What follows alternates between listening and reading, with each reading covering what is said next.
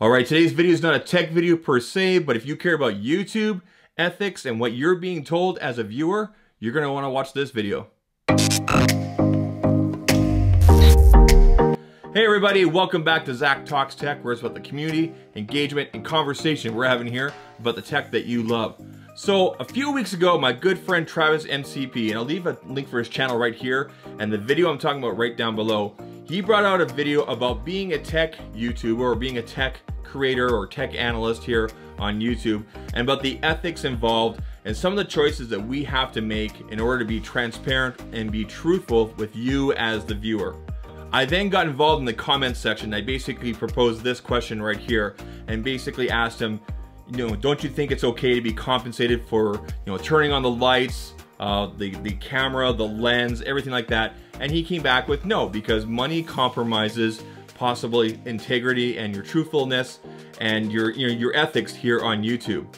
That got me basically into a big conversation with some other uh, bigger YouTubers as well, including people such as Mr. Mobile, uh, Michael Fisher, my buddy Jason at Painfully Honest Tech, and a few other people as well. And what I found out very quickly is that my moral compass, as Travis calls it, was in a good direction, but I needed a course correction. That's what this video is about. I want you guys to know where I was and where the, I'm going in, in the direction of this channel. So when I started this channel about a year and a half ago, it was to showcase products and, and, things that I sold or used to sell at my current employer. For those of you guys that don't know, I currently work for a cell phone accessories distributor here in Canada, and I take care of two very large territories. With that comes with a lot of travel and whatnot, and unfortunately, I can't always get out to all my clients. So what I would do is I would put together quick two, three, five minute videos of unboxing product, giving my opinion, showing what it looks like, maybe how it works, and then firing that off to my clients. As time went on, I realized, hey, I really enjoyed this YouTube thing.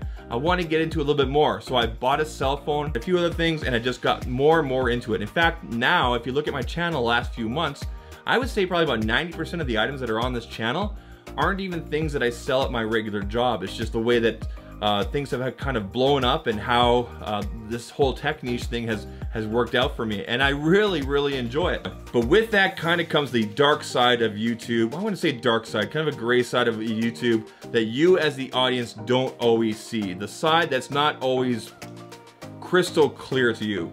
That is what this video is about. And for me to outline to you what you can expect from this channel and going forward. So that being said, I wanna outline basically six items or six points that you guys can come to expect with me on this channel and hopefully it clears up anything uh, that you don't quite know. And at the same time, you should be taking some of these points and applying them to other reviewers that you watch, not just in tech, but it can be in beauty, it can be any type of reviewing, anything that has to do with a brand or a product you should be asking yourself some of the questions and things that I'm gonna be bringing up here. It'll help you out as a consumer and as somebody is watching so that you know exactly what's going on with these products and are you being marketed to or is this something genuine? Number one, I will never take money, compensation, uh, a gift, whatever it is, money form, I will never take that in exchange for a showcase or review of a product on this channel. I've only ever been asked once and I declined for obvious reasons.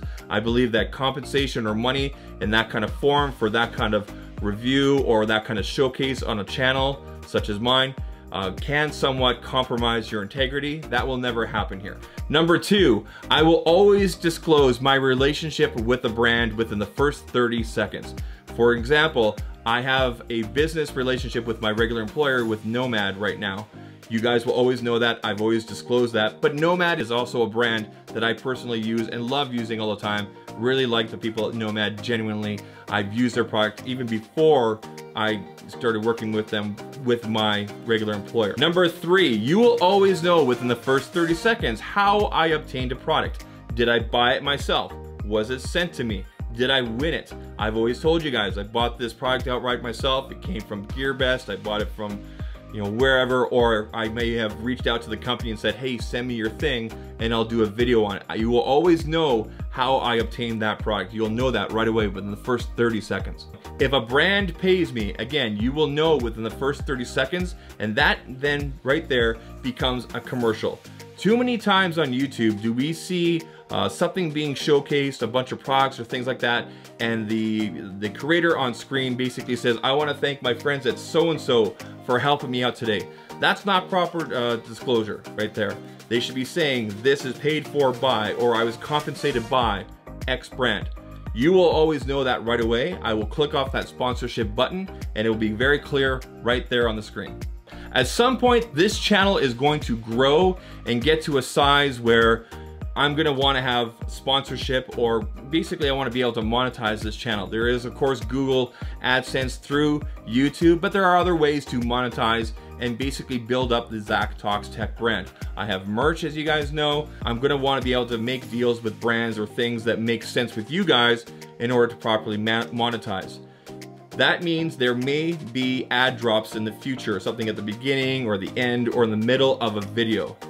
If that happens, I will make sure that they are products that I use and that you would use as well. Products that make sense. So you're not gonna see ad drops for things on this channel for things that I wouldn't use or maybe only use once. It has to make sense. It has to be something that I would use, something for my niche, something that my audience, that for you guys, that makes sense, that you guys would enjoy using. So be on the lookout for that. And again, it'll be very clear what's going on and that they are a sponsor of that particular video or whatever's happening. Again, it'll be crystal clear to you guys. And again, it will always be a product or service that I would use. I'm not gonna show off anything on this channel that I wouldn't regularly use. Number six, every single product and, and service that you see on this channel is something that I have used or I have legitimate interest in. I am not going to bring products in or have things sent to me or be paid to show you guys stuff that I'm not interested in because you're at this channel you're watching this uh, content right now because you're interested in me and you're interested in what I do on this channel for me to bring in something that I'm not interested in and to show you guys is baloney. It's it's it's doesn't make sense and it's not going to happen. So again, everything that you see on this channel, ad drops, products, are things that I use, things that I'm interested in, and hopefully you're interested in as well that makes sense for the channel. So that's it guys. Those are my six points. I'm actually gonna write them down in the description area here. I'm gonna be using this video and this referral right here as something that people can kind of go back to to find out more about this channel for the future and to kind of help myself guide and whatnot. And so that my moral compass, as Travis puts it, make sure that it's always, you know, aligned properly and that I'm being 110% with you guys, the audience. It's part of what hashtag Team Unfiltered is. You guys may have seen this hashtag hanging around uh, in YouTube comment areas. At the bottom of the videos, you may have seen it on Instagram, you may have seen it on Twitter. Hashtag Team Unfiltered is a group of creators, small creators like myself, that share the same ethics and integrity and want to be 110% unfiltered with you, tell you 100% what is going on and not leave things out and not word things in a way so that maybe people think another way. We want to let you know what's up, what is going on with a product, with a brand, with a sponsorship, with an ad drop, whatever it is. You will always know with Team Unfiltered. That's it guys. Leave a comment down in the, uh, the comment section there. Let me know what you guys think. Did I leave anything out? Uh, hopefully this is what 110% clear for you guys. If you guys like the content here, please leave a thumbs up. Think about hitting that subscribe button as well, and I'll catch you in the next one. Take care. Cheers.